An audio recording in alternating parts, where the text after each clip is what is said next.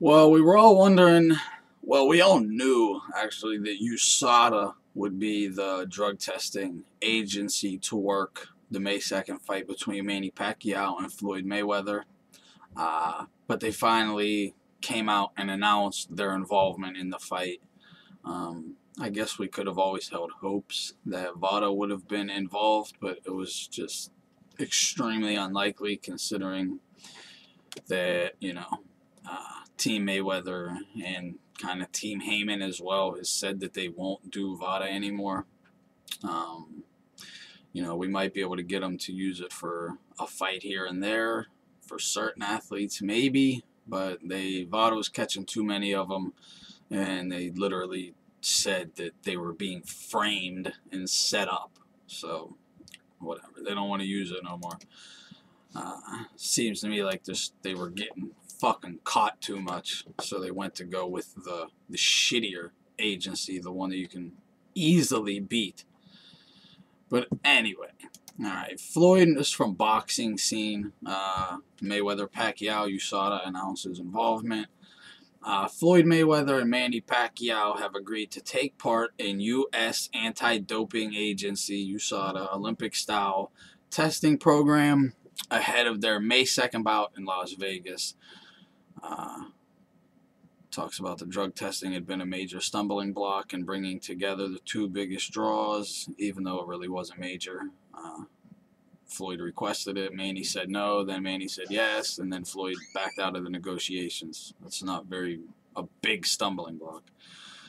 Uh, but USADA has confirmed both fighters have consented to the rules established under the World Doping Code, the World Anti-Doping Code, my bad, and the World Anti-Doping Agency, WADA's banned substance list. Uh, like I talked about in the Heredia video, that you know every year the fighters are giving given a list of the substances they're not allowed to take. The list changes every year. You know, in 2013, some stuff might have been on the list. In 2014, it wasn't on, but some new shit was added because, you know, they can't test for everything. It's too much money. Um, and there's always new, you know, they literally just got to change a molecule of certain uh, PEDs and it, you know, they can beat the test that way. They can no longer, their current test can't detect it and such. Um, so they're constantly changing the list up, but there's constantly, you know, scientists are working around the clock trying to develop uh, PEDs to beat the test also. So it's, you, know, you can still use, uh, even with VADA, but, you know, they they just catch the people, and USADA doesn't. Um, it's a strong statement of importance and of clean and safe competition to have these two fighters voluntarily agree to have a WADA level anti-doping program implemented for this fight, quotes, said USADA's CEO Travis Tygart. Uh, he's a clown. Uh, we commend them for their stand for clean sport and the message it sends to all those who want to compete clean at the highest levels of all sport. Um, I'd commend them if they used VADA because, like, everyone in the, the, the boxing community especially knows that's the one that's, you know, taken more seriously. Uh, they can, like I said, they both can be beat, but USADA is more looked at as like a joke because of the holes you could you can just you know all through it. You can beat the test so easily. You know the PED scientists have literally studied it, looked over it. They said USADA is a joke when it comes to testing for PEDs. Exact words. You'd have to be a fucking idiot to get caught using PEDs by USADA. Even though I think. Uh, they did end up grabbing up, I think, one person. Um, the well, yeah, whatever, whatever, whatever. Uh,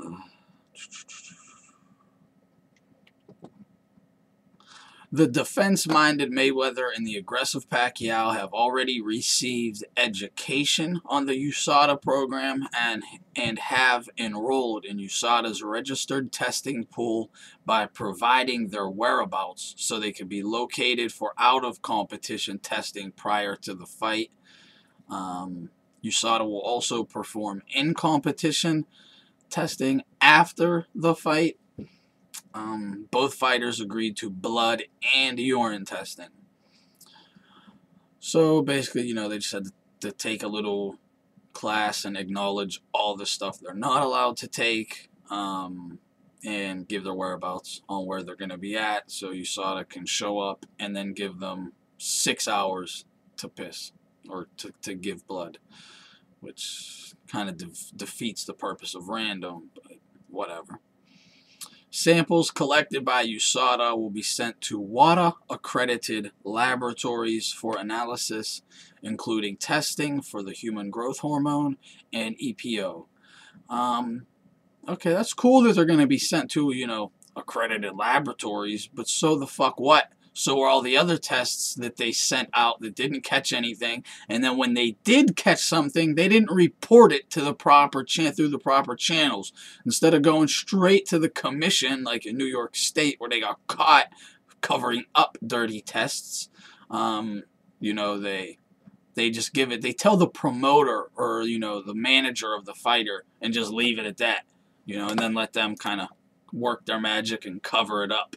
What kind of um, testing program is that? You know, plus you can get medical waivers. I mean, you know, I've talked about it a million times. It's fucking garbage. USADA is garbage. As far as I'm concerned, neither one of these guys are being tested. Um, it all comes down to do if you have the balls to take it and risk it because it is a slight risk you might get caught but if you have proper you know PED gurus and shit in your camp uh, even doctors that'll write you a doctor's excuse.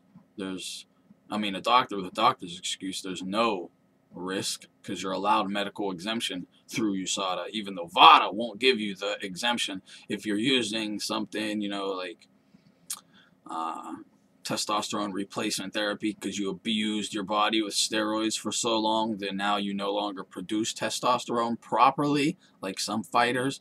Uh, not in this fight, but you know, one that's fighting in April, I believe. Um, Lamont Peterson has to take uh, TRT now to keep his levels normal, supposedly. But, you know, just fucking bullshit. But you're allowed a medical waiver then, you know. But VADA, if you're taking that stuff, they just say, well, you know, get it, get your therapy. When you end your therapy, then you can fight. But that's only if you're, you know, agreeing to VADA. Um, if you're just you're doing regular commission testing or USADA, you're allowed to fight. You know, so as long as you don't, them fighters don't involve VADA, their career is fine.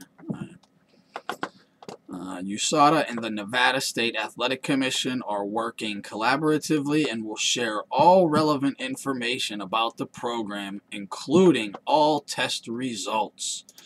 Well, what's relevant? Number one, are they going to share to us if someone gets busted? You know, that would be considered relevant. But since they don't fucking report the positive test results to the commissions all the time, you know, well, actually, probably never. Um, you know, it's like, okay, if you're tested and you come up dirty and that test gets destroyed and the, the, the paperwork's, you know, shredded, burned, whatever, then you never tested positive, just like in New York State test positive gets covered up. So why would they, you know, and they, and the New York State Athletic Commission wasn't in on it. They ended up having to, you know, someone dropped a dime on them and the commission had to go after them to catch them. So it's not like the Nevada State Athletic Commission would be in on it. They just won't fucking tell the commission. And as long as no one snitches, then, you know, the commission will never even find out.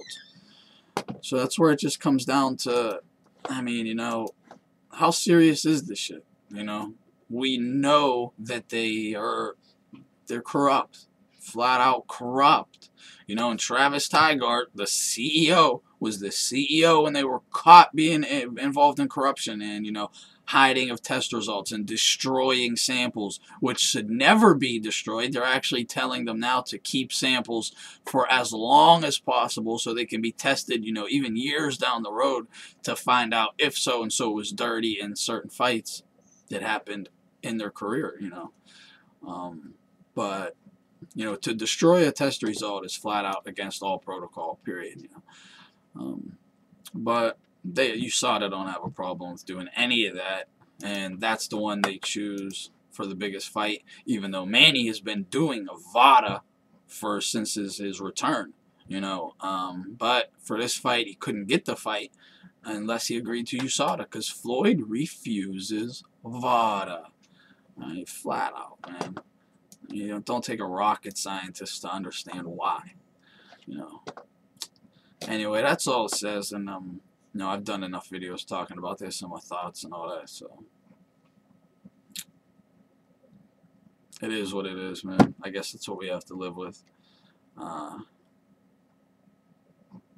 when you really look at it, I mean, both of these athletes could come in dirty as shit if they wanted to, and nothing's there.